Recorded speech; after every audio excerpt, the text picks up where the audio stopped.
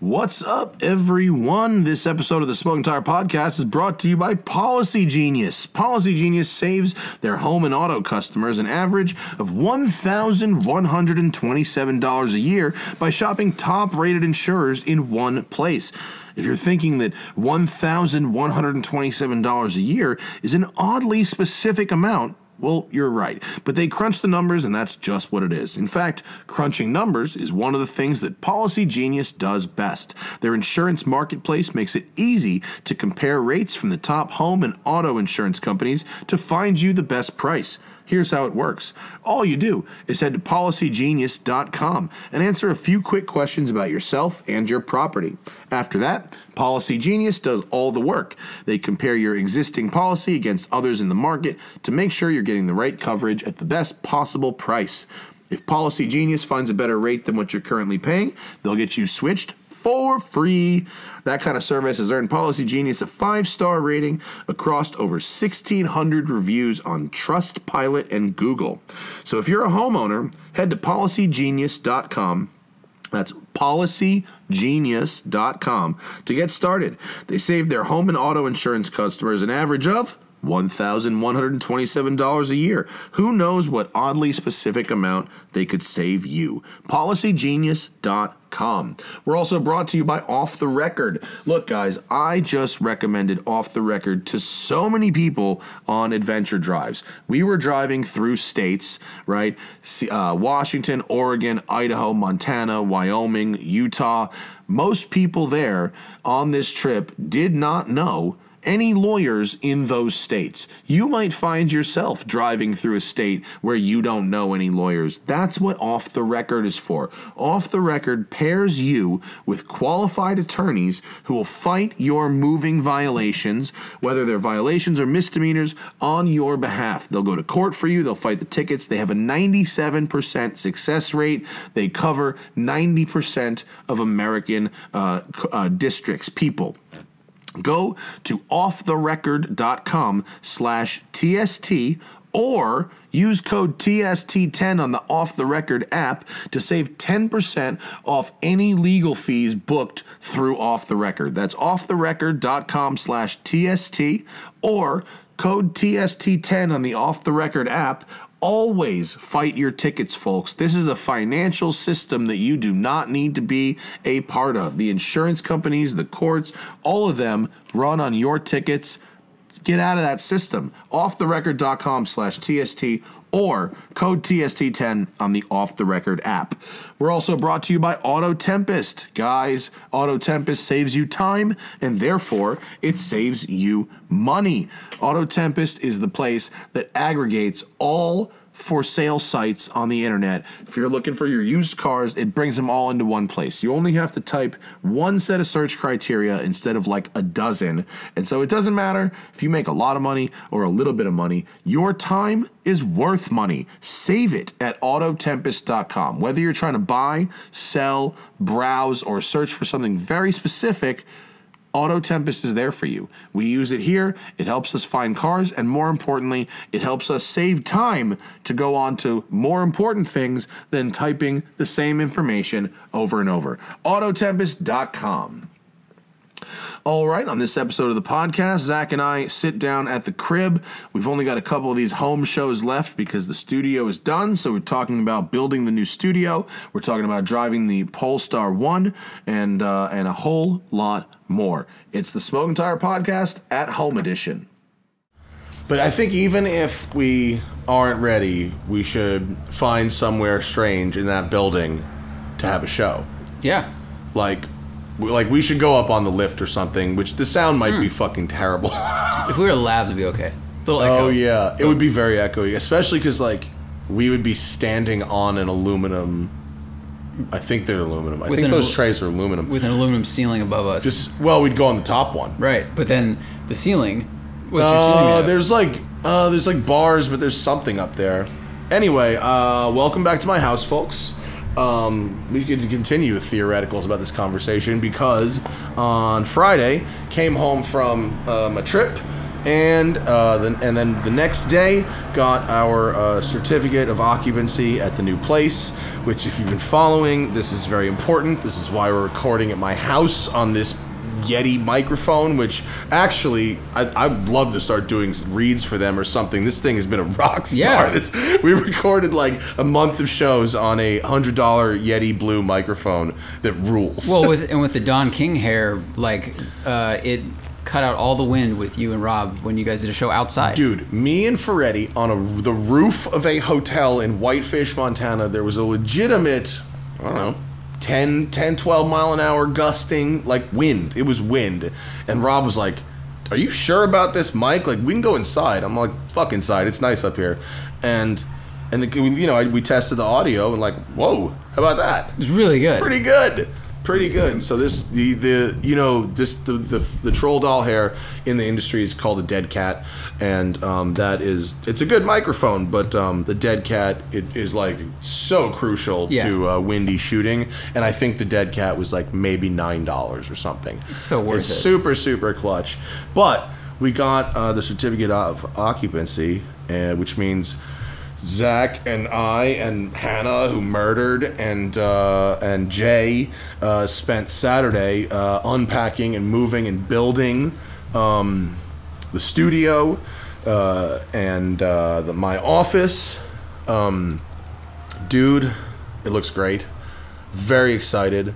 Um, I didn't really. I was spending doing more uh, the office stuff and lobby furniture, and Zach was helping Jay with uh, the podcast studio. So I didn't even really bother up there like what you guys were doing. I know you're hanging lights. What was Jay's like strategy for this? He wanted to hang the lights and get them wired first for power because he hung, uh, I think, eight lights from the ceiling. So four of them are kind of warm spots, spotlights that'll be on you know you and the guest, and uh, he's gonna put barn doors on them and kind of diffuse them a little bit, make them soft. And then he hung four colored LED lights down the center that we can change what color we want.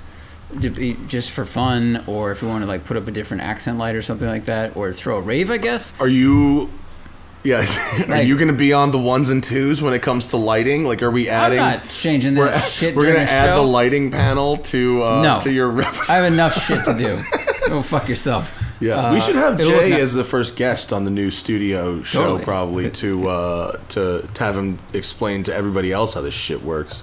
Uh, but he's he was really proud of uh, like making all the wires and stuff go- hidden and making it look all nicey nice, especially because you know this the the room that we're in. You know, we had the chance to. Well, this is uh, we're pull, he's pulled up. Jay has a podcast called the Late Night Playset Podcast um, with his wife Nicole. And what's hilarious is they they were able to get Dave Letterman's uh, desk and set from the actual Dave Letterman show. He works in like set design, and then he this the set that we're looking at of his is literally in his Nicole's apartment It's in the valley, and it looks like a total late night talk show. The lighting is amazing, the backdrops are amazing, and we're not going like that hardcore in terms of like the backdrops. Although we are, I think, going to try to make it look cool. Um, we definitely are going to um, have the lighting design sort of like this, in uh, so that like people look good when they come Yeah. on the show. You know, Yeah, so it's not super bright. I mean, we, we had a good step with the last set with like a big, you know, softbox overhead to make people look a little softer, but this will be a little bit more intentional and it's done by a professional instead Yeah. of Tim and myself.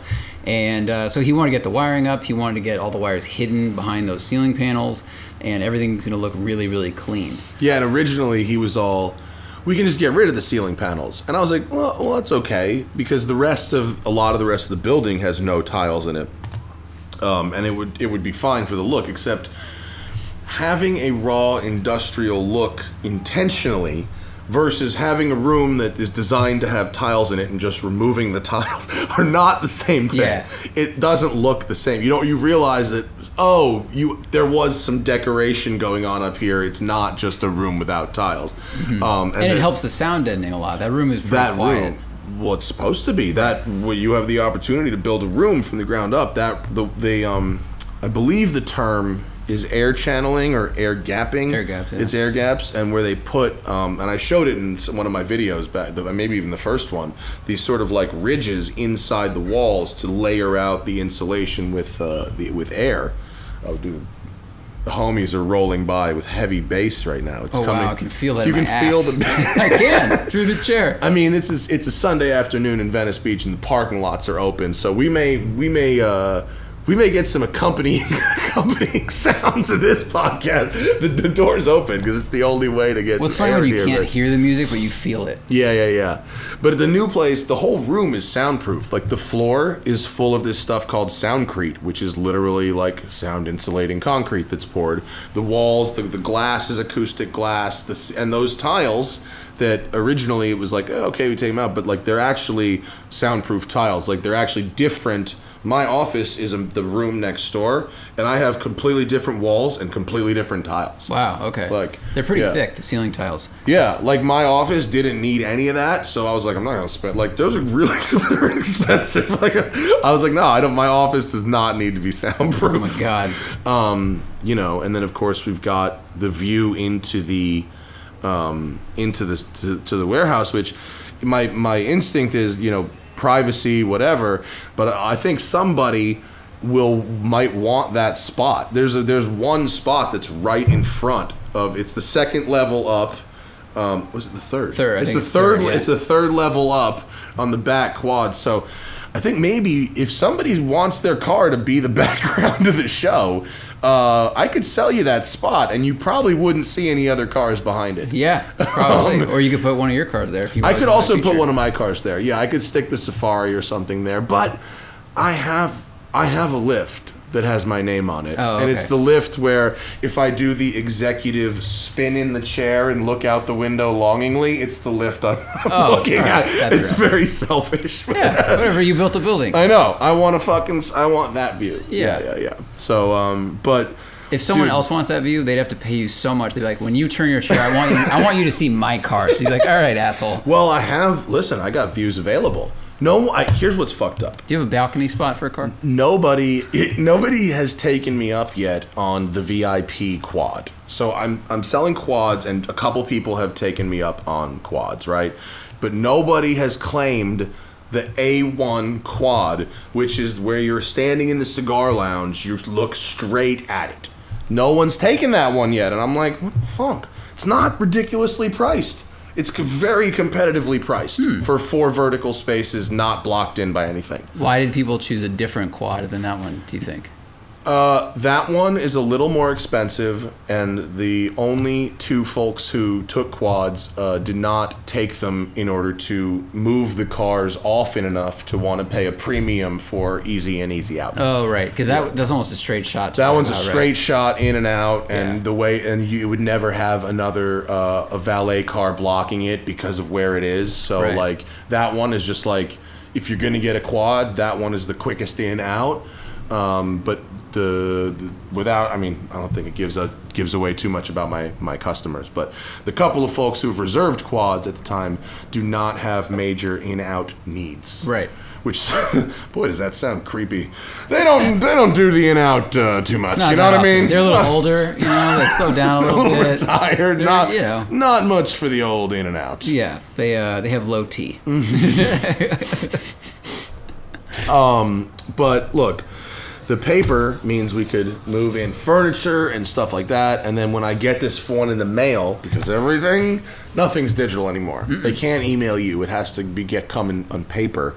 That's when I can actually um, open the business. So that's going to be a couple weeks, but it's okay because it takes a couple weeks to like set things in some motion. Yeah.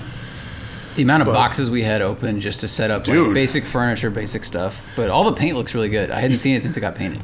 Isn't it amazing? Yeah. So so railing's really cool. Our friend stunt driver Sarah uh, trims 440 on Instagram, and her homie Web Bland, not Bland on Instagram, uh, have a side hustle, which is. Uh, a design business, uh, and mainly their design business is for uh, homes that they own and rent out on Airbnb.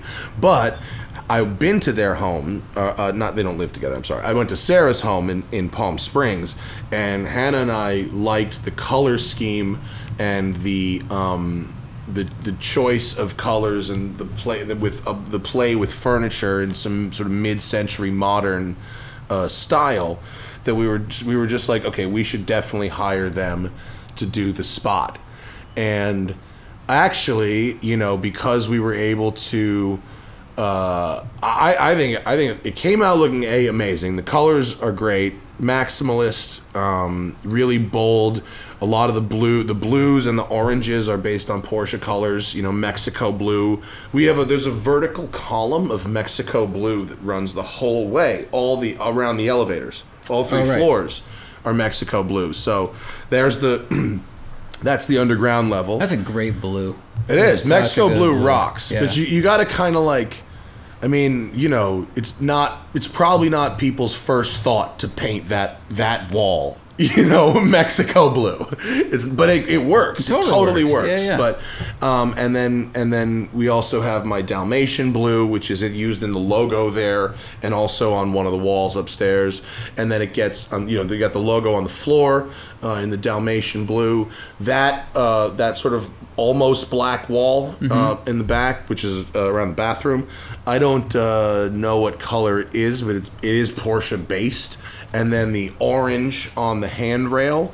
Um, we want I wanted to do something that was like Bahama orange, uh, Bahama yellow, actually I think it's called, which is the orange color on Porsche.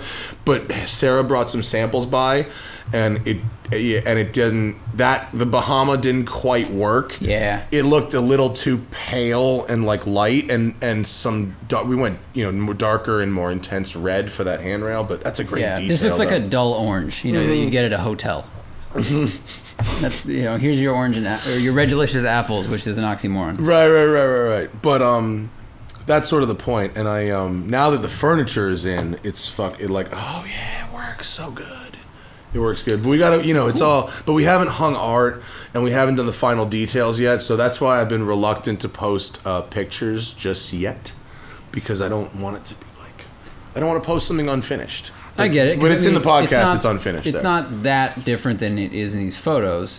Yeah. like carpets down and stuff. But otherwise, you know, it But I hasn't also- gone a really far. Right. then. But also when I made the last video where I did a walkthrough and all the walls were white and everything, and people were like, "That's fucking ugly. That looks like a conference room." A couple people, and I was like, "Uh, you don't know what's gonna happen. It's gonna be nice. This is primer coat. Yeah, no, we didn't want to paint paint all these colors um, while people were still working. So Yeah, now, definitely not. Now they gone. I was so nervous moving shit in there and like Dude, you know, we did a pretty good up. job. I think we only made that one little scratch on the bottom of the elevator. there's two.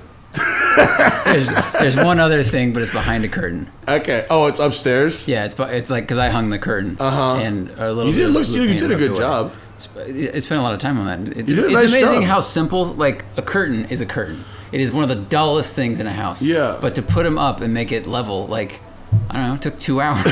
it's just like 15 It's- holes in the it's wall. two hours. That's like forever though. yes. You know, and like, I mean, I don't know if I don't know if there's a photo on that array of the wall. Like, it was, it's the wall's a square basically.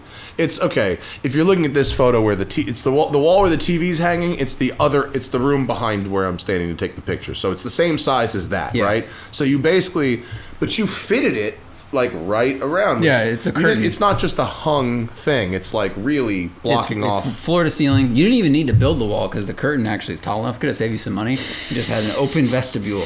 No, it either it does it helps with the sound with the road noise. Like Uh-huh. the curtain, the curtain cut the sound at least in half. And- Yeah. and you already had the, the quiet glass and all that stuff. Yeah, that door that you're looking at really there helped. is uh, is uh, different from my office door, which is right next to it. That door has a special soundproof glass in it. So if someone was like to scream really loudly in the studio, other people probably couldn't hear it outside the studio. No, didn't we? We did that before, didn't you? Didn't we do? We, we haven't done the test yet of No. talking with the. Yeah, you can't hear shit. Really? I mean, it's not like if you scream, you can hear it, but like if you're having a regular, if you're having a, a recording in there, you cannot hear anything outside. Okay. Yeah, no. This isn't like Corning kill room glass. No, but we, you can't hear anything outside. But we have a monitor going to the lounge, so people in the lounge can on the big screen pull up the feed, which is cool. And listen to it and watch and all Yeah. Cool. Yeah, yeah, yeah. Um, it's very exciting. In that photo right there, the shade is pulled down in that window, but the spot directly behind that window is what I'm talking about. Your car here. We get we'll just get some um like a fun rotation of tuner cars. Like I bet you like That'd be cool. yeah, like but Tim already hit me up because he's very nice and he pro- remember he promised a West Side sticker on his Pikes Peak car. Mm-hmm. He asked me for the artwork, which he's following up on that. So shout out to Betim at BBI. BBI. So we're at West Side. Uh, we'll have uh, a car on Pikes Peak. Oh, rad. Didn't cost me nothing. like, I'm really about cool. that. But I'll probably give him some storage for that car. He want in between races. He doesn't like to look at his race car for a while. Really? It just takes up space at the shop. Yeah. He doesn't want to You keep pushing it it. around the shop all the time. What? And so What car are they running this year? Uh, I don't know. I think isn't it the Some- same car they ran last year? Just worked on. is it? Swan? It's not Swan. That's that's a street car. No, that's the street car. It's probably on their Instagram. It's I think it's the same car. I think it's the same car they ran last year. I'm talking completely out of my ass. Isn't that that green car? Holy crap! Yeah, it's like the cup. It's the turbo yeah. cup car, right? Right. Is that and um, yeah, it's crazy. It's got a monster splitter, and more importantly, in between races, it needs a home. And so I told Betim that it could come live with me until I sold enough spaces where I'd kick it out. So Yeah. maybe I'll put that behind Totally the put in a studio. window spot. Yeah. That's a great we- a rotating feature. If something uh, cool is in there, you know, Mm-hmm. Yeah. it's like being featured at the Petersen, but it's featured on Yeah, maybe, and I just got to make sure you can't see customer cars, and if we can, maybe I could set up some kind of like shadow box. You know what I mean? Like if we put like a black curtain Yep. up on a rod, sort of behind it. Yeah. Like then that way you could not. Uh, I'm sure. Could you hang a black curtain on on, the, the, rack? the rack or- above. No, like if, if the car, you know, you're looking out the window at the car, could Uh-huh. you hang a black curtain right here, behind it? Um, that violates some kind of crazy fire code because we're not trying to move, go backwards. I'm not, you know. That depends. yeah. What what sanctioning body are we asking exactly? Better idea. Let's put a Winnebago up there that will block the whole window, and that's fine. Yeah, no, or you know, we could literally put whatever press car we're driving that week, and when we're talking about it, be like, "See, Yeah, but that makes sense. that makes That way, makes way too, more way sense. much Instead, let's hang a curtain and get ran, random race cars featured up there. Uh, right, right. Yeah, hanging the car makes all the sense. Oh or man, press car. And now you know what else we have to do, Zach? Is we have to put together a vertical car show. So we need to get cars for like, you know, three or four days to a week from our friends that are cool, Mm-hmm. right? So like we need to go all, all our, our people with shops and all our people with fun cars. And, and maybe like maybe probably like 30 to 30 to 35 of them. And get them to loan us our, their cars for a week. And we fill the racks. And that way we can have the grand opening. It's we're not going to have a party obviously because fucking coronavirus. But we can have uh you know people come in uh, one group at a time you know for 15 minute you know walkthrough tours and whatnot Yeah, and you could do a final walkthrough video when those cars are up there. Right, and I want to have like any any like local car photographers that want to come through. You know, certainly Larry, but like you know he's on the he would be on the payroll. I mean, like I mean, like uh, you know, uh, just whoever whoever else like photographers like. You want to come like fly a drone in there? Like you want to come like you know do something like with light, play around? Like let's let's do some things. Like let's have fun. I have Yeah. I have this amount of time for people to play, and then it's like "Er, no more, you know, photography. Yeah, that's a good idea. So, because I want to get the customers moved in too, but like we need photos of like the racks full of cars. Yeah, totally. So yeah, yeah, get some cool uh, press cars, Con Media. Corey could probably set us up with some cool like resto stuff. Yeah, and I think we could probably call, you know, whoever, whatever press fleets and say like, can I just borrow the car for a week, not even drive it, just it's gonna literally sit here. Mm-hmm. Yeah. Because I do mind. Or maybe Jen could send some PC collection cars, I'm like sure some old would. race cars or something. Since that- all the colors in the building are Porsche colors, yeah, maybe Jen would send some PEC cars. That would be cool. I have an M3 you could put in the basement and not film. Bro, I, I need I need it. I need I need all those cars. I, we're gonna need like if it's a car that goes on the rack and looks like a cool car, like you, you it goes. We need it. Line them up. Okay, So that'd be cool. yeah, Vertical car show. yeah. I don't know if anyone's done that yet. Ha. So that's the thing. So that's exciting. Um, I mean, that's that's pretty much what our weekend was.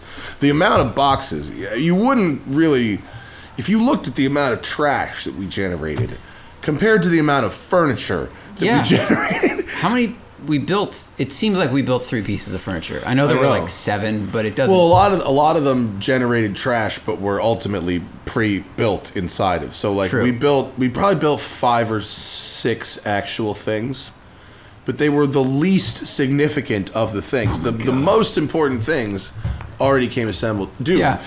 can we talk about the quality of those engine block coffee tables, which is extremely high, and they cost. I'm gonna give the guy a plug for free. I believe it's enginetables.co.uk.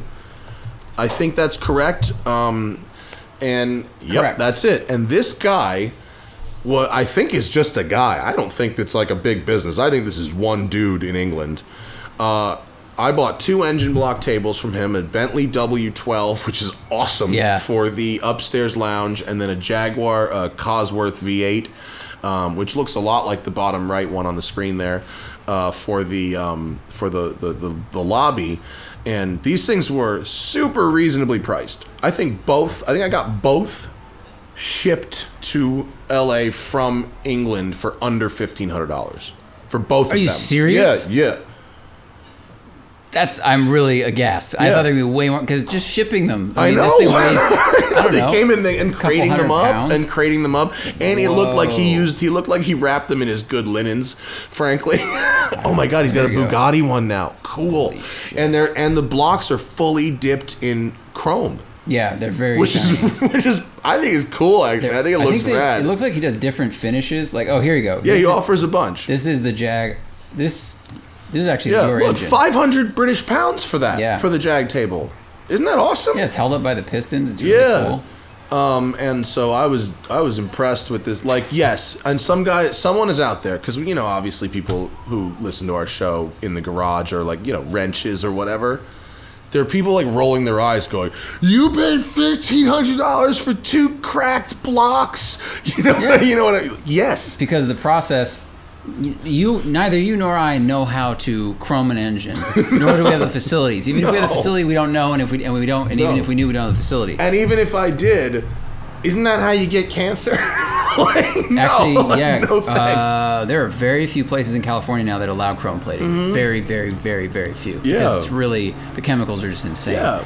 So you usually have to go out of state for it. I mean, you can do different finishes, like he's got black and flat and whatever, but Yeah. it's still like the black looks great. the amount of work you know put into it. I mean, I, would, I would like to make one of these one day, but I need to find someone that has a media blaster that will let me use it and you know. 50, Yeah, you, it's definitely if you're a wrench, by all means, like make one yourself. It'll Totally. probably be really cool. But if you're not, I really liked this guy. He Yeah. was very professional, and I got him. You know, it was it was very affordable. I think, I, you know, considering what furniture costs. I mean, you know, leather chairs and shit. You know what I mean? Are like are, are really can can add up quickly. Yeah. This is this is something that is a talking piece. It's a centerpiece of any living room or, or lobby. Um, it's you know on brand without being total overkill and being without being like you know sock hop drive-in bullshit. Right. You know. It- you know, it's, it's enthusiast stuff, and, it's and they cool. have they have lots of different engines. Yeah, So, and some of the engines are like find a Ferrari one. The, the Ferrari ones are really expensive Ferrari for some V8 reason. is three grand. Yeah, Ferrari ones are really expensive for some reason. They look I, I don't know other than It's because they are, say Ferrari on the mat. That's because just I guess yeah. I think it's it's a chicken and the egg. Is it because it's Ferrari engine, or is it because they know the people buying it own Ferraris? Yeah, I mean the brand. It's it's hundred percent branding. Is there an actual Ferrari stamp on it somewhere? like the Bugatti, the Bu- the uh, the Bentley one, embarrassingly has Volkswagen Audi stampings on it. Is Yeah, this there- has Ferrari stamp. It does. Yep. I mean that's so, so that's it. You're you're literally paying for the badge. There's almost no difference once an engine becomes a table. Very true. There's almost no difference in what it came out of. Yeah. I mean the W12, especially if it's the same configuration, right? The W12, it looks weird as hell. That I got it because it looks really strange. Um, just like that that W16 Bugatti uh, Bugatti block looks really strange. But V8s are all you know. Yeah, I mean, here this is a Range of- Rover V8, Yeah, and like then the Ferrari. Other V8, than like, being, they, painted the Ferrari one red. Yeah, other and than the front of the block does look different. There's more material milled out of it, which is probably how they save weight on the engine. Like, see how this the front is very Yeah. flat, but you know, it's got eight big holes. Once it's holding up an up. ashtray, a V8 is a V8. You know what I mean? Yeah. Oh, did you know this used to rev to 8,000? Until a guy spun the bearings If I had a collection of. Ferraris, like I would want this in my in my man cave instead of a Range Rover V8. So I get But it. that's a 6X premium. yeah, the Range Rover V8 is four hundred dollars. that's a 6X premium. It's hilarious. That's pretty funny. I mean, and I'm not, you know, I'm sure. I bet. I bet you it's not. Uh, it's not all just branding. I bet it costs. I bet even getting a blown Ferrari block costs money for this exact reason. Yeah, just supply and demand. There's fewer Yeah. of these than there are blown Range Rover V8s. And, you know, Um, But uh, they're Rover. they're really cool. And you know what? The uh, it turns out you can buy glass really cheap, so That's you cool. can save some extra money by just getting getting the glass locally at Home Depot. And uh, yeah, so that's fun. Um, in the meantime, I've been driving cars.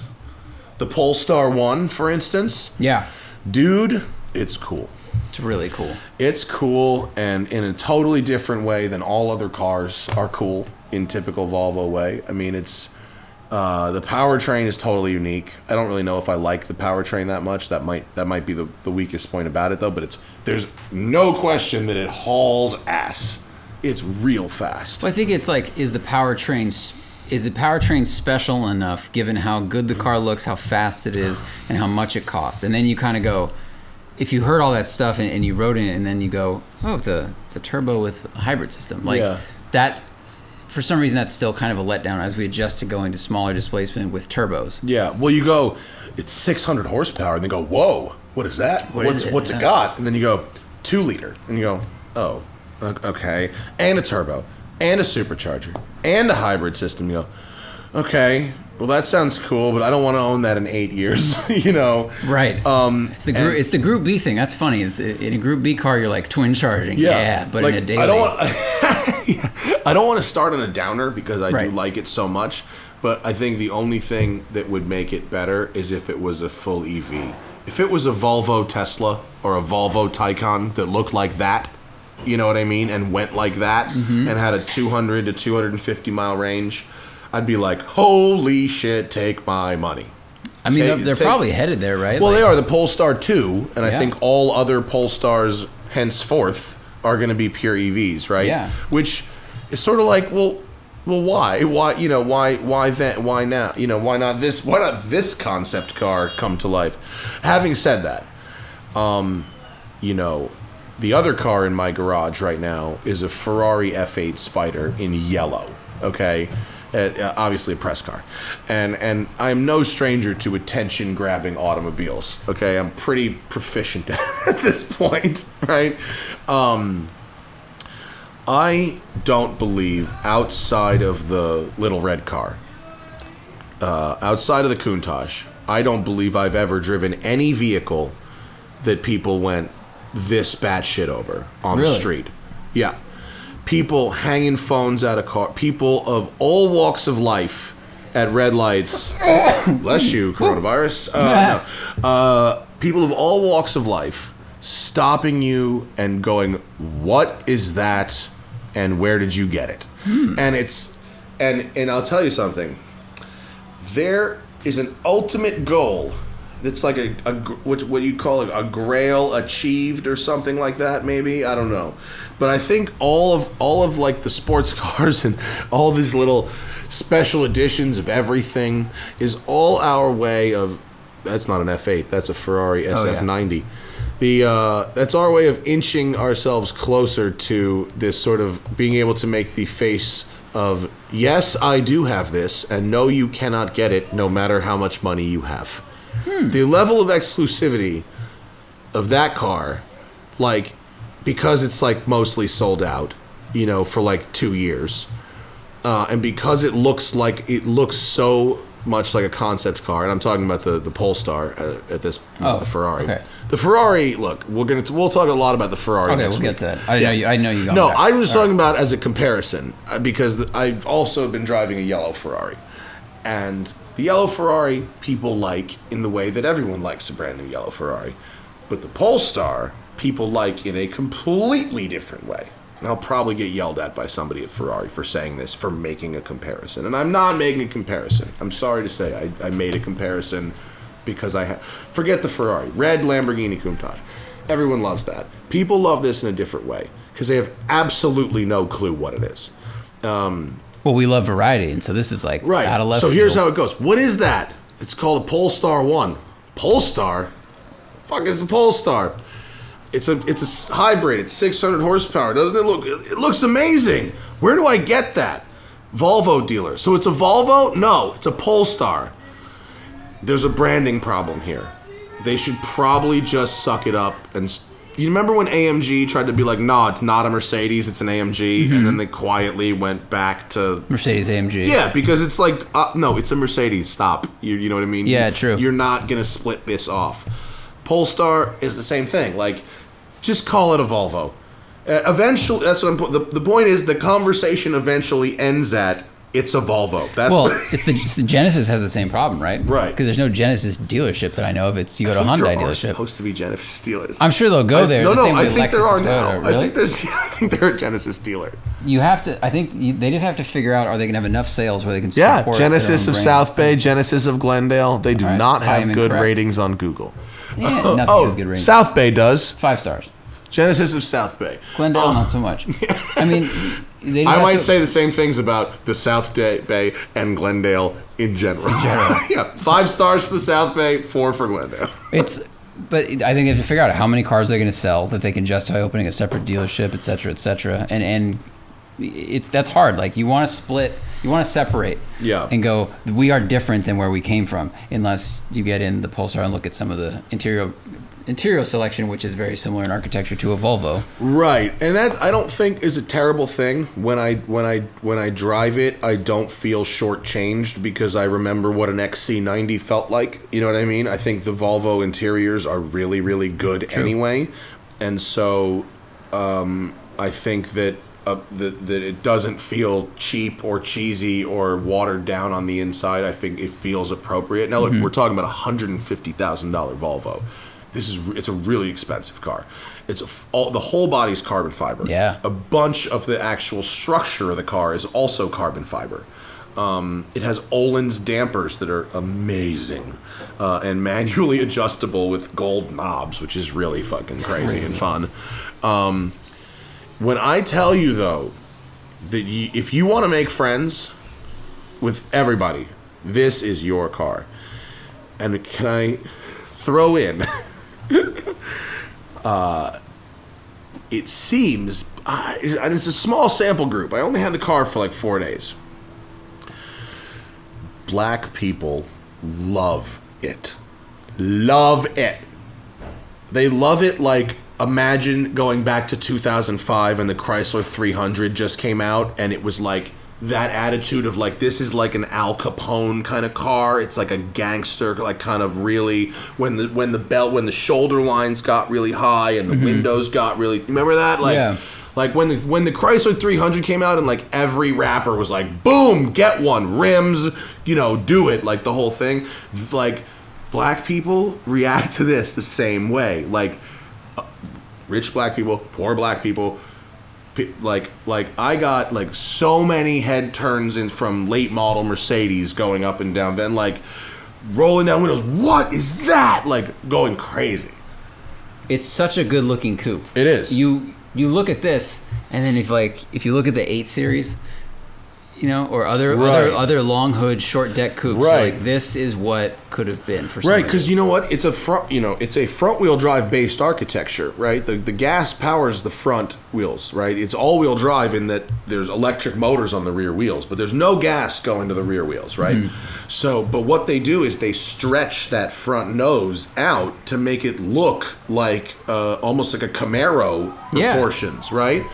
And and but because you don't actually have a drive shaft and a rear wheel drive architecture, you can then do whatever you want with the whole rest of the shape. You know what I mean? Yeah. So that long front axle to head position, you know, is sort of what defines luxury, right? Think, yeah, there you go, profile. Think, you know, Phantom. Phantom drop head. Think Yeah. Great Gatsby cars. Think old school, you know, open touring like Pebble Beach type shit. It's all about that long snout. Right. And that's what front wheel drive based cars don't have. It's all about cab forward, right? And shorter noses, shorter overhangs. So Volvo has stretched that intentionally to present a more elegant appearance.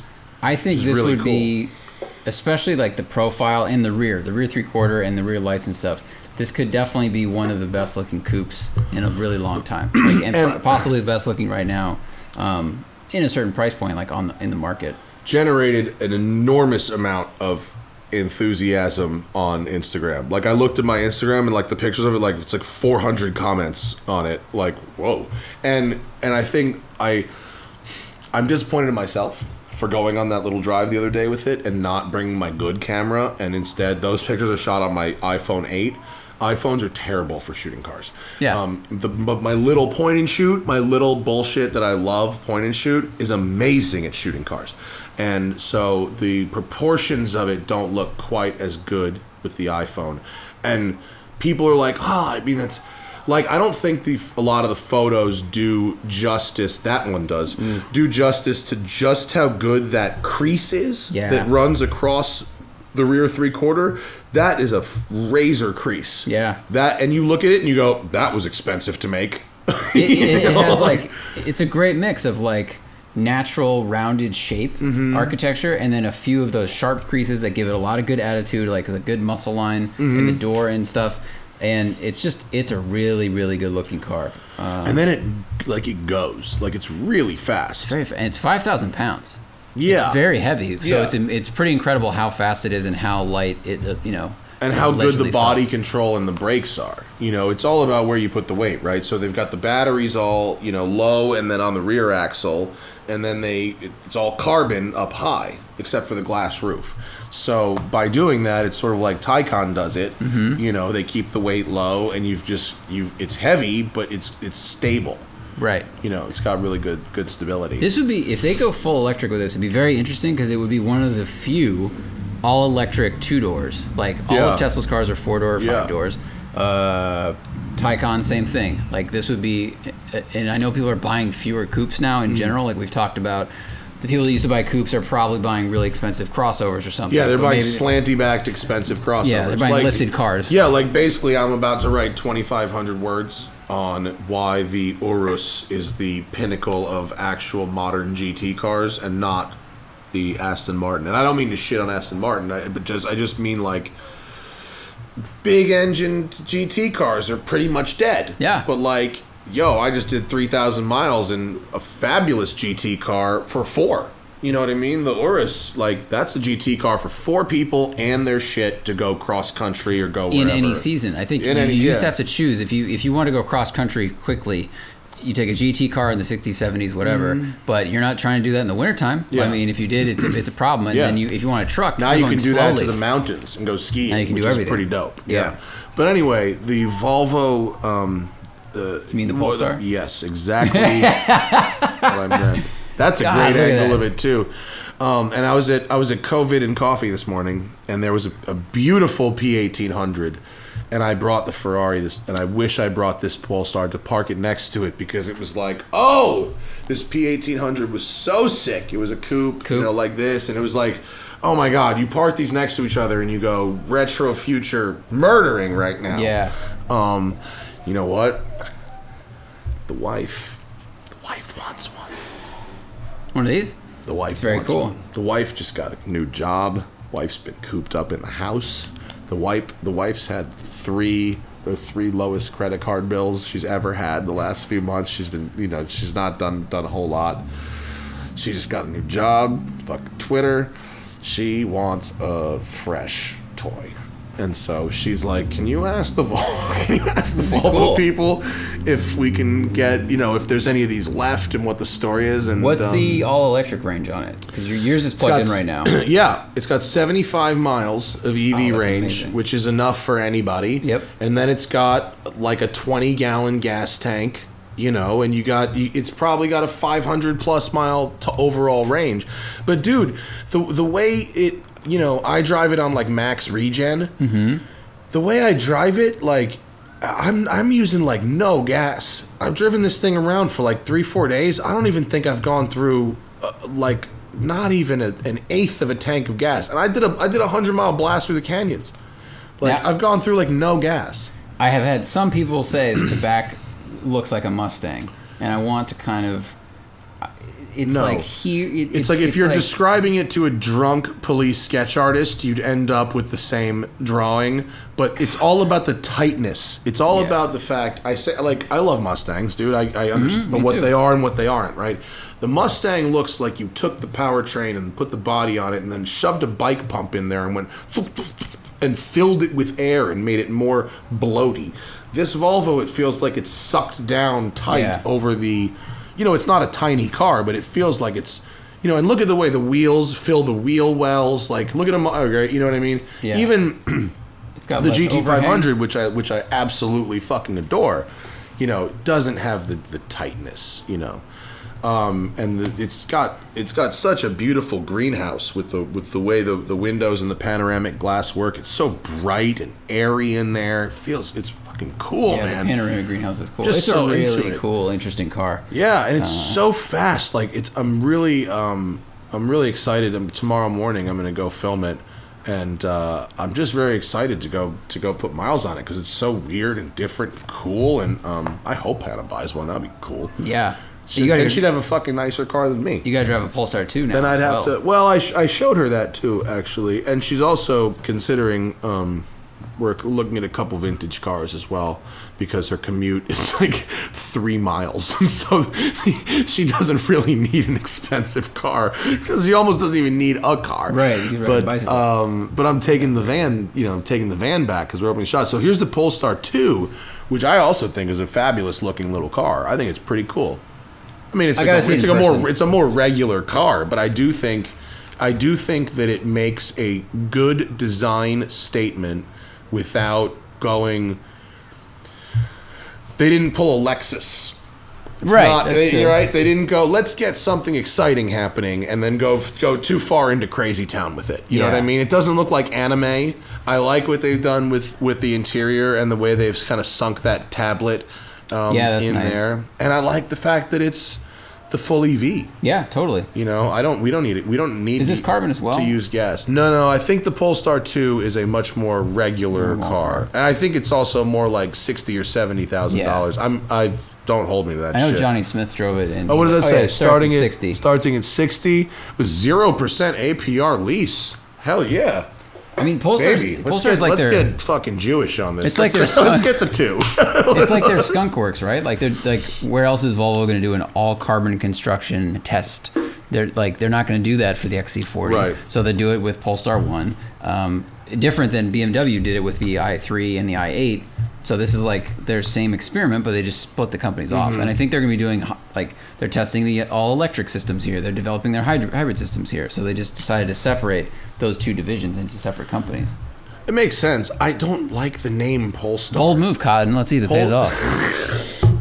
The name Polestar, though, it really sounds like a combination of the word porn star, but adapted for stripping.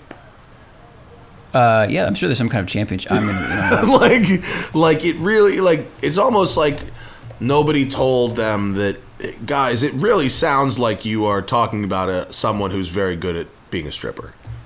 Uh, well, Which, by the way, on the beach yesterday, someone set up a a a, a, a pole. a pole, but it was more. It was on a weighted, like a round stage, like the size of this table.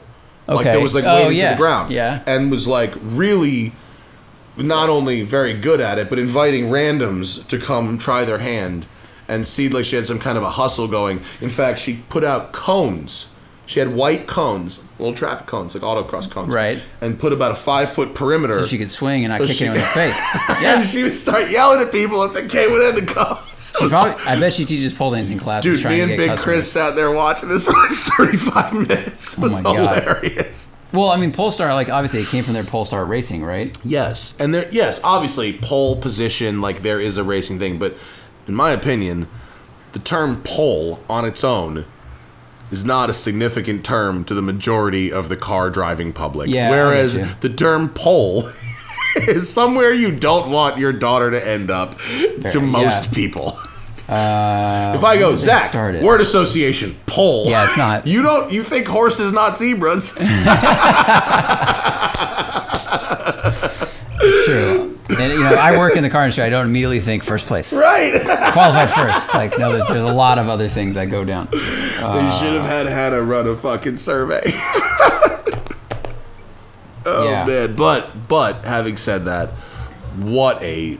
I mean, For their first car, I mean, everything I've read Yeah. about it from, you know, you and we filmed one for a show and I can't you drove talk it. about it. Uh, you can't talk about the fact that you drove it a little bit. I now, drove, like I drove it and it was very good. Yeah. But but like I can't tell how I can't say how it did on the show. no, no, no, no, no. but But you can say you drove it. We're t- Yeah, yeah, whatever. it got more more looks and people taking photos on the way to the track Yeah. than anything we've driven out there. And Well, we've had McLaren, this, that, and the other thing. That's the thing. Yeah. No, it's very different. It's very different, and you, no one looks at you like you're a douchebag in the newest exotic car. They're, they're, they're like most people don't think that about exotic cars. Most people, as long as you're not driving like an asshole, enjoy seeing exotic cars. But like some people have that sort of connotation, right? This does not have that. You are a gentleman of taste. Yeah. You are not a douchebag. You didn't, you know what I mean? You're driving something totally different that is not flashy and in your face, but like unspeakably beautiful. Yeah, Yeah. I think it's the same ability or attribute that Morgan. Aston Martin used to have. I, I had lots of friends, uh, lots of female friends that they that they wouldn't care about cars, but they liked Aston Martins. Dude, pull up the Aston Martin Virage. Maybe 1991. And I think look at the pull up yeah, the blue blue top right there. Like see, same same in my opinion. I like the Polestar because uh, of it kind of its aesthetic resemblance to sort of this Oh, design ethos of Aston Yeah. Martin, right? combine it, it's square but round Right. it's the right places i think Yeah. it's just aston martin has always had a like a non-threatening design but people just go that's classically good looking Yeah. and it's not and there's something with ferrari and lamborghini badges that people may associate negatively with some experience or some kind of douchebaggery Right, right. and i think the Aston's polestar gotten away from, from, the same that thing classiness. I think, and the Yeah. more with the with the orange color schemes and that weird mouth of the Vantage. I think they're kind of yeah. shifting. Well, everything's gotten so aggressive that Yeah. Aston is like a little bit less, but still they have to kind of go where the tide goes. Morgan's got it. Morgan hasn't changed in 70 fucking years, man. Like they don't care. Still got it. Yeah, they pop their head up and they're like, "What are people doing?" Yeah. No, not doing that. And then Morgan they is the Bruce Meyer of car companies. Yeah. we're good. But just- you know, well, you got blinkers on. What are those for? Speaking of people thinking exotic cars are douchebags, I gotta tell you this. I left me and Big Chris left the garage this morning in the F8 Spider in yellow. And as I'm backing out of the garage, a homeless woman comes walking towards the car. She goes, "A Ferrari in yellow?" And I go, "It's called Giallo Modena. It, it's very pretty, isn't it?" She goes, I don't know. And I really thought she was going to go into a tirade about something about Ferrari owners and small dicks or something like that. And here's why you should never judge a person because she immediately starts talking about, I prefer Ferraris in blue. I go, really? Me too. Do you like light or dark blue? And she's like, there's a dark blue. And I was like, maybe it's called a Pozzi blue or something. And she goes, my friend has a Land Rover Discovery in a British racing green over camel. And I go, you are a woman of taste. And she goes, thank you. That's awesome. That's like, so "What- awesome. What just happened? right there? That's so crazy. You never know what, what somebody's experience was before Yeah, they the got dark to where blue. they are. Yeah, the dark blue Ferrari is like a Pozzi blue, maybe, Yeah, I or a Tour de France blue. Oh, that's the best, isn't it? looking at a Ferrari 550 with a 550 uh, and uh, I don't know what color it is, but it's either Tour it's de just called dark blue. Yeah, it's fire. Very fire. Dark blue metallic, maybe. Man, it's fucking it hot. Classy. Except okay, that interior is not classy, but Oh, I don't know about that two tone. that's white and blue inside. That, Panda blue? is no. bad. No panda. Wow, Unless you're trimming a yacht. Um, that's what someone someone wanted their Ferrari to match their ski nautique. Yeah, hundred percent. Right? Can you put speakers on the roof looking backwards, please? Dude, this is the gauge pod is white, but the center console's blue. But then the leather goes around the center console is white. Oh, it's really There's bad. nothing worse than a panda steering wheel. Imagine here's imagine having this thought. I'm gonna pick make a steering wheel two colors, and the one the part where I put my hands, I'm gonna make white. Yuck. I mean, this is an all blue wheel and it's still bad, but yeah, dark blue Ferrari outside, very Yeah, that was a that was hilarious. Um, let's see. I saw Paul and Todd of Everyday Driver when Oh, we awesome. when we passed through Park City. It was nice to see them. When Hannah and I, la- you know, last time we talked, I was in Jackson, Wyoming, and then we drove to Park City and then through St. George. You know, the way the way you do. And uh, Paul and Todd seemed to be killing it. Nice. Park City, very nice place. Very nice. Yeah. Yeah. Like fun place, mountains, all that stuff. Yeah, Weather, and yeah. we did a hike in Park City, uh, on sort of on the side of the Deer Valley ski mountain that started at nine thousand. Oh, Because last time I was like, I did a hike started at sixty seven hundred. You're like, yeah, I did one that started at ten, and then uh, we did we tried one that started at ninety two hundred. It was death. it was it was death. But had you been, what elevation had you been at the previous days? Like, like six. We've been up to we've been at six. Yeah. We stayed at six, and then we're like, let's do this hike. It's over here. But as we drove and drove and drove to the hike, we're like, oh my god, we're just going up and up. And the and the Urus had a had an altimeter in it, yeah. Oh. so it's going seven, eight, and we park. It's ninety two hundred, and we go, oh god. And the hike, we read, go look it up. It's it's eighteen hundred foot elevation gain. So it's going from ninety two to, to eleven thousand. We got. 80% of the way to it and we just couldn't like breathe how many miles was, like, how steep got- was this climb, though? It Because was that can three. be really bad. No, it was eighteen hundred feet over two miles or so. It That's was aggressive. Steep. It was steep. That's yeah, aggressive, it was steep. dude. Yeah, it was Because hard. my hike, I, I looked up later, it was 10 miles round trip. yeah, I think so. It was five miles, and it was only climbing, you know, three thousand feet. So it was e- a little easier. It matters. um, and, but it was really hard. Much respect for hiking at twelve thousand feet. It's like you need to get used to that shit. I took some breaks, man. I, I, I stopped. It was hard. I ate food on the trail while walking. so- That's yeah. If you're eating food on the trail while walking, that's a hard hike for sure. Um, and then you know Vinny's caddy. Did we talk about Vinny's caddy breaking? show, yeah. Okay, so Zuckerman of the Spike and Zuckerman Spike's Car Radio podcast did me a very big solid the last couple of um, uh, uh, weeks. I had to, for reasons that we don't need to go into here, I had to temporarily make a few cars disappear, and and um, and I made them disappear by putting them in Zuckerman's place, which was very this very place? kind of him. Yes, Oh, that's okay. that's that is that is uh, Casa de Zuckerman. That's one of that's one of two Casa de Zuckermans. Wow. Right right next to each other. So I put them in the it was in the other one, but it doesn't matter. It's uh, he's got some very nice cars. And um, so when I came time to bring the cars back, to bring them home, um, everything was fine except Vinny's Cadillac, which I'm still I still have the ginormous Cadillac on airbags wouldn't start. And so I had to leave it there, unfortunately, for while I went on vacation. And Paul was very gracious about it. And I was very, at that point, I was very happy that I parked it somewhere where it wasn't blo- it wouldn't block anything. So Yeah. that was that was good. Because this could block the Panama Canal. You is block. you can block a like lot of 22 feet long. It's enormous. And uh, so, but Big Chris was in town, and Big Chris isn't just a very handy person and has done a lot of wrenching. Big Chris used to own this Cadillac. Oh, wow. Vinny, originally in Florida, sold it to Big Chris, who drove it cross country. Big Chris sold to some other guy, and that's who Vinny bought it back from. So Wow. Big Chris was here, and he knew this car. So we're like, I was like, Chris, can you come over to? And I'm gonna have Big Chris on the podcast. He's a very interesting guy. He's, Yeah. he's very funny. Um, uh, I was like, can you come help me get Vinny's car going? And he's like, no problem, mate. He's British, no problem. And uh, so he's like, we need a hammer, we need a pipe, we need a wire. I was like, uh, okay, what kind of pipe? Uh, about, about a foot long metal. Okay. and I was like, all right.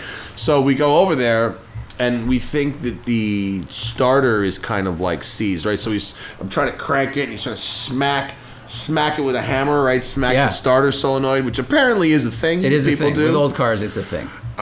I had never heard of this, and I was like, "Fucking really?" But then I came home and I told Hannah what we were doing. She's like, "Oh yeah, you smack the starter." She's like, "Because she had old shit boxes when she was a kid." She's like, "My dad always had to smack the starter." I was like, "Oh, all right." Because I think it's like a solenoid has to go out from the starter and like it goes to the you know the flywheel and engage in the Yeah. spin and sometimes it gets frozen. Yes. So you just whack it and it resets. That's the idea. Yeah, this is blowing in the cartridge for cars. Right. For, for anyone who's played Nintendo and is over the age of 30. Yeah.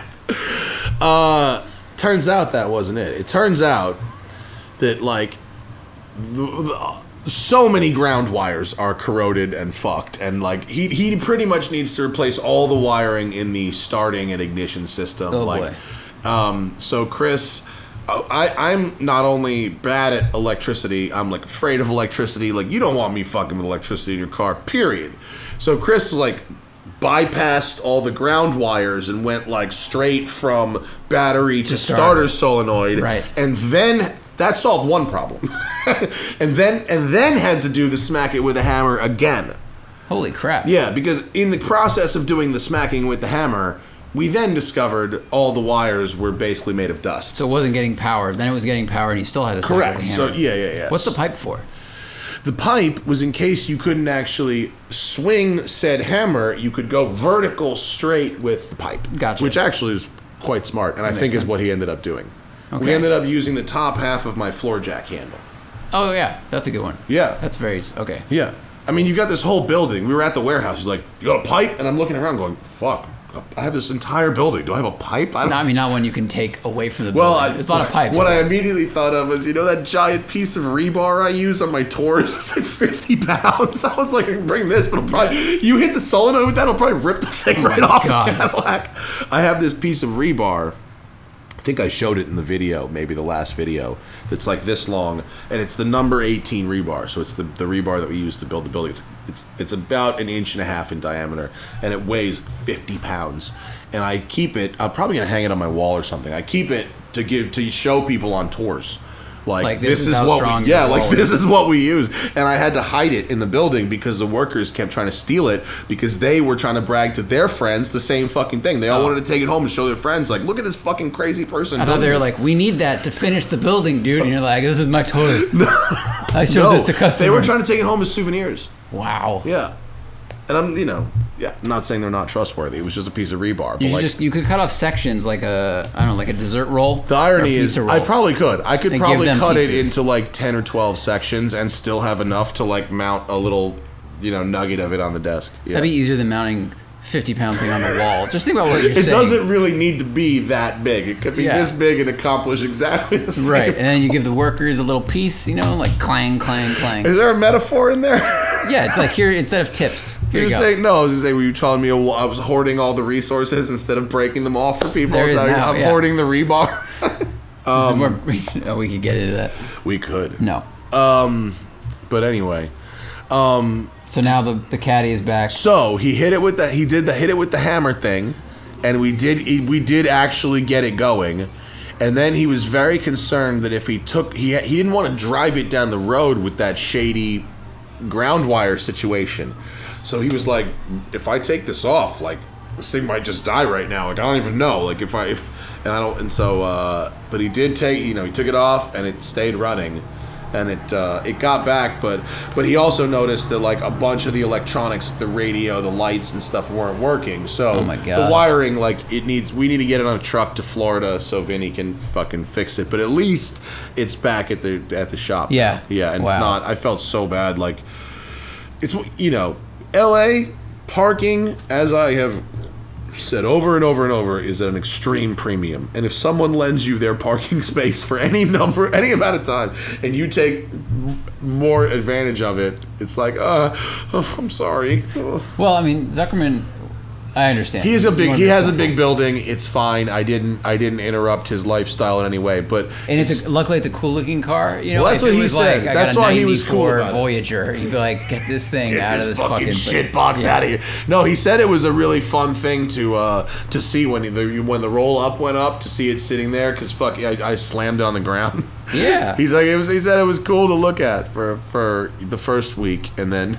Get And then the he's like, get it the fuck out of here, Farah. It won't start. You're like, oh shit. No, he he was like, I was like, I'm going to get the car out of here. I hope it starts. He's like, you just said that. You fucked yourself. It's not going to start now. and he was right. I was right.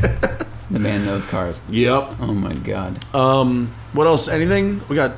I got a lot of dude. This month, there's press cars like galore.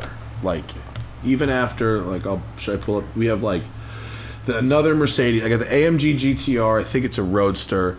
I've got two Cadillacs, the CT4V and the CT5V. Cool. Now, I believe that is the replacement for the ATS and CTS. Yes. Which, right, whatever. So fast, uh, fast Cadillacs we've got coming. I've got the G wagon. We're gonna go off roading in the G wagon. The new, the new G wagon. Oh god damn it! I have to type my password in. Jesus. Just to get press cars. I hope we're not screen recording my password. Do you think Uh, someone could could have remember could have gotten my password from listening to my typing keystrokes? We I got the Lexus not. LC 500 convertible. Ooh. We've got the t- guy. Wait, we have the TRD Camry, which I I'm very which I booked in. intentionally. I remember, yeah. I did book the TRD. We've Camry heard really good things. Uh, Cadillac CT4V, AMG GTR convertible, CT5V, the Mercedes G63. We get the Polestar 2 in a couple weeks, three weeks. Then we have the GLE 53 Mercedes. I've wanted to try that 53 powertrain for like a minute. Yeah. Which is like what, electric supercharger? How does that work? What does it Uh, have? it's an inline six turbo with electric supercharger. Yeah. That's is that the only powertrain out there more complicated than Volvo's? It's tied. um, And then we've got uh, the GT53 AMG, or maybe the GT63. I don't remember if it's oh the wow! 53 And the next, 63. the 2021 C53 is ditching the six cylinder, so that's a bummer. Oh, well, I wanted to try, I wanted to try that engine, and they're gonna get us in. But Wait. what should we drive next? What should I ask for? Uh, What's the new thing? tr- are there any good trucks out? Trucks. Actually, no one- The fuck am I gonna do with a truck? Go off roading again. I guess. Um, well, we're gonna. The off-roading videos don't do that don't. well. They don't. Someone asked me, they're like, "Why didn't you take that Roush truck off roading?" And Yeah. I was like, "There's no trails around. I only had four hours with the thing, but also like In four hours, the videos do don't off-roading. really do great unless you can like." Unless you can jump the thing and do crazy stuff, Yeah. like slow rock crawling videos don't really do very well. I am gonna go off-roading in the G wagon because I want to, and I don't really care if the video doesn't do that well. yeah, Like I might, I'm just gonna do it, like because it's the thing I want to do. yeah, that's fine. I agree with that. Um, uh, sorry. got- so wait, which which 53 are you getting? E or C? Mercedes. Oh, I've got the GLE, which I don't really. I'm not. I don't really care about the fact that it's a GLE, but I wanted to try that engine, and that was all they had. Okay. And then they've got. I might not even make a video with it, honestly, because I've done a lot of Mercedes. But, but, and then I've got the GT53, which is that the coupe four door one. Right, right. Yeah. Okay, I was just trying to make sure I get all their their engines right because the C53 is different. So, Oh, really? Um, so the M256 Mercedes engine has an electric supercharger Uh huh. Uh, Downstream of the turbocharger. Interesting. a turbo. uh, uses a centrifugal flow cool. supercharger driven by a 48 volt electric motor. It spins to 70,000 RPM and can develop boot pressure 6.6 psi. Huh. Enough to provide response while the turbo gets up to speed, at which point a check valve closes and the turbo takes over from the electric supercharger. That sounds great. That sounds like the, a great use of a 48 volt system. Wow. Yeah. So when you press the gas on this, it says the first reaction you get immediate torque boost from the starter slash alternator. Then the electric supercharger spins up and gives you 0.3 seconds, spins up in 0.3 seconds to deliver boost. Then, because you have those systems, they don't need tiny turbos anymore. Instead, they use one big twin scroll turbo. Uh, that then delivers you more power. So that's crazy. So it's like the starter pushes you, then the electric supercharger, then the turbo.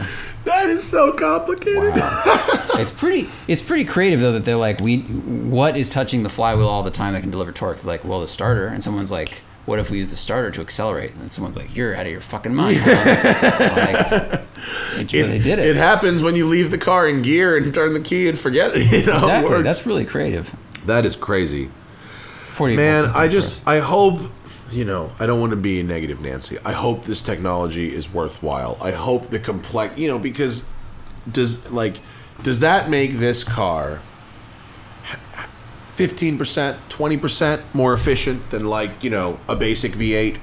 Does it make it 50% more efficient than a basic V8? Like how much, you know what I mean? Like how much technology do you need to pile onto this thing to make it more efficient than that the 4 liter twin turbo, you know what I mean or whatever? But I think some of their some of the requirements from you know countries EU or America, Yeah. it's like we need you to be eight percent more efficient. So Yeah, even though to us it's only eight, Yeah. to them it's it's eight or nothing. Yeah, I guess. Yeah. I just I you know I hope the complexity is worth it because I you don't want to end up with a bunch of totally disposed luxury cars, do you? I know. You know what I mean? Because if you if the car if the car only lasts, you know, and I'm not sure there's evidence to support this theory that complicated cars don't don't last as long, but you know, I don't see a lot of like 2001, 2002, 7 series running around. Do you? like, No, the seven series you know, is notorious for having a lot Yeah, of problems. And, yeah. and it, I, th- I agree with you. Like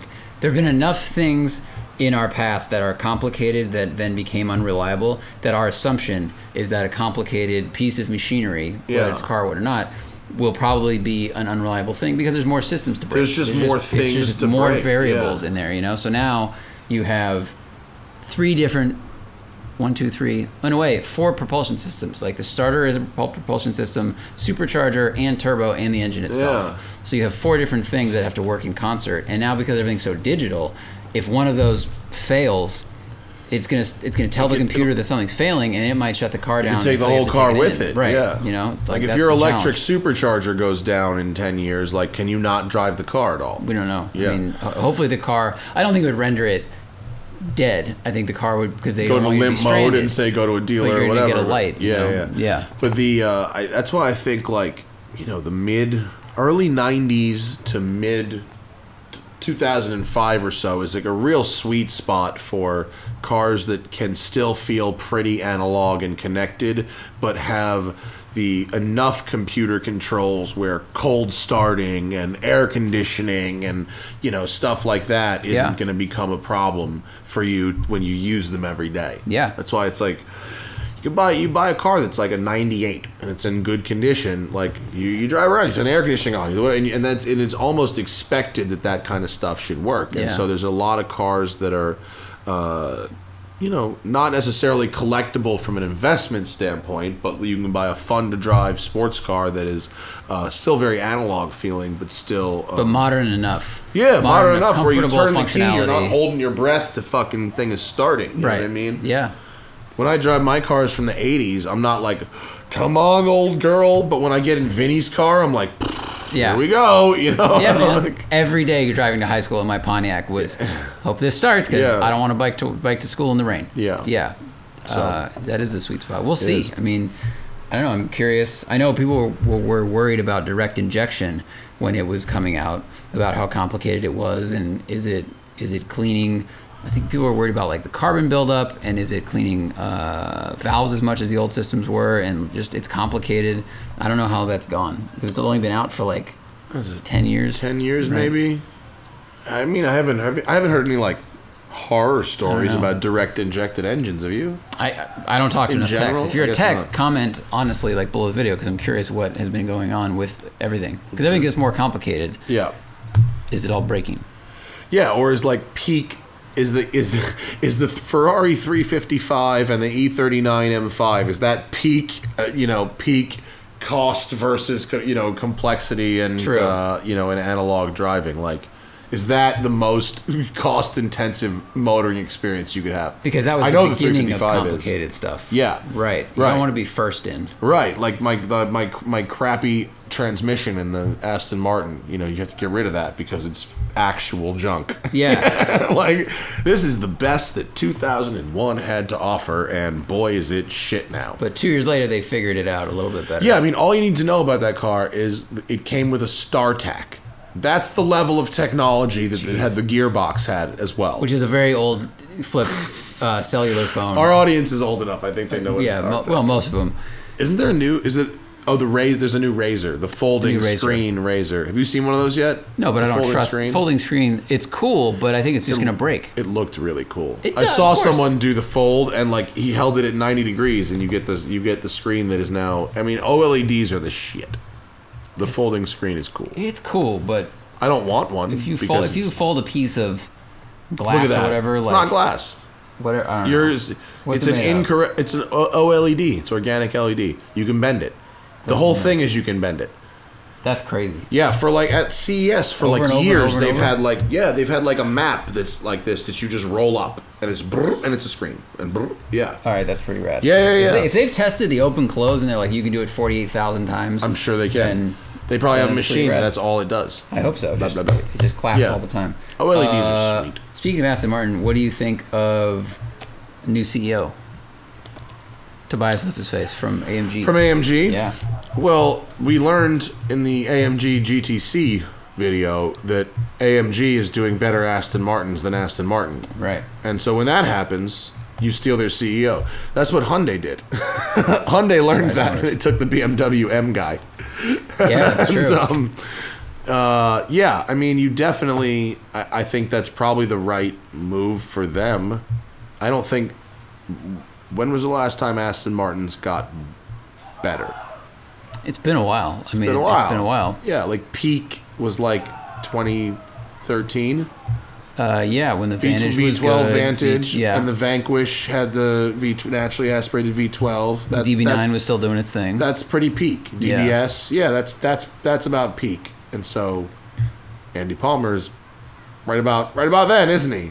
Yeah, When did he- Andy Palmer come in? uh, it was just let's see, when did he start there?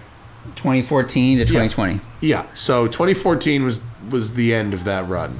Yeah. He just started doing too many things. There was just like it was like DBX, Valkyrie, electric stuff. Uh, they were just Well, like the, a lot the of different existing places. cars all got worse. They got worse. They got better it- by getting worse. I mean, um, you know, they all had more horsepower. They, you know, the but but Vantage got had far less attractive. The Vantage went from something I wanted to something I don't want, and also the Vantage for using Mercedes um, engine by not having the same dual clutch gearbox they use in the AMG, by having the eight speed, they pretty much ensure that that car will not ever be as good to drive as the AMG, Right. Which also looks better. Yeah, the AMG is one of GTC rocks. they actually them and Porsche are kind of maintaining the organic round shaped design Well, Mm-hmm. a lot of other car companies go angular aggressive etc etc and it looks really good Yeah, and that's curves why the can AMG work, GT too. yeah the curves are good Yeah. curves are more timeless But the but AM but if AMG has did so much better than Aston Martin with their with their GT line, I can understand why somebody would want to steal their CEO. That makes sense. Mm-hmm. Yeah. you do what you did. They're here. if, yeah if uh, if Tobias can bring some of the really good the dynamics that he brought to AMG and and you know go back I think a little bit to the Aston Martin's like design ethos. You Mm-hmm. know they had so many generations of really good looking cars and then just kind of got a little bit busy. Yeah. Maybe they can go back a little bit. Yeah, the schnozzes got got out of, out of hand. And they have to cool everything, which is really challenging. There's so many hard things now, like with pedestrian crash standards, all the cooling you need up front. Yeah. I don't know. I, I'm not saying I liked the DBS when I drove it, both the coupe and the convertible. I did, but you know, same money.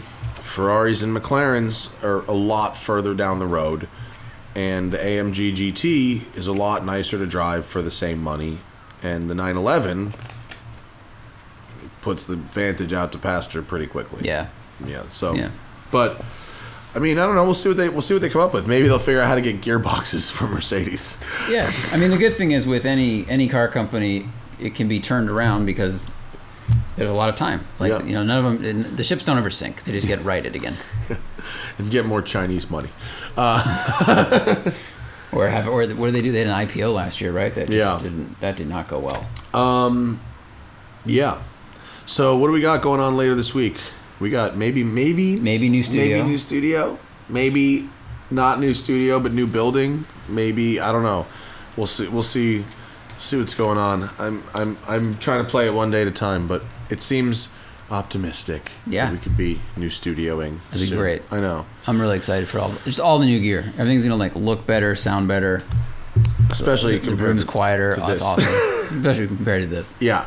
Thanks, Yeti. Thank you. Thank you, Yeti. You've done well. Still the voiceover mic. I think, All right. I think Yeti is sitting on an island somewhere going, I know. Like everybody. had it. Um, that is our show, folks. The Smoking Tire Podcast is powered by Shout Engine. Get your own podcast at shoutengine.com. It's easy. All you need is a connection to the internet, a, a microphone, uh, be it a basic Yeti Blue or the uh, the almighty Shure SM7B that we were unpacking at the studio the other day. Um, yes, we will sound very good. Yeah. That's and the lights look really cool too. I'm excited. They're not like lined up yet, but just the the colors of the room are very good. Well, it's now it's a bespoke studio with that's you know sound deadened, lit, with better cameras, new switching software. Like all of it's gonna be good. You know what, Zach? We fucking deserve it. Ten years, right? We made 550 of these fucking things. We deserve a good studio. yeah, nine, nine, nine years, man. It's awesome. Yeah, that's the thing. All right, we'll see you guys on Thursday. Peace.